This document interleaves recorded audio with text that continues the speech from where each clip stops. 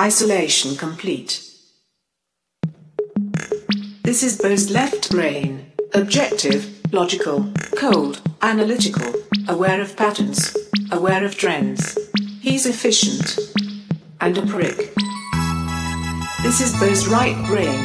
Subjective, creative, sensory, aware of feelings, aware of people. He's emotional. And an idiot. That's your opinion. Just careful with opinions. Okay, boys. Play nice. I am the left brain, I am the left brain. I work really hard till my inevitable death brain. You got a job to do, you better do it right. And the right way is with the left brain's might. I like Oreos and pussy, in that order. And I cried for at least an hour after watching Toy Story 3. Wait, I am the right brain. I have feelings.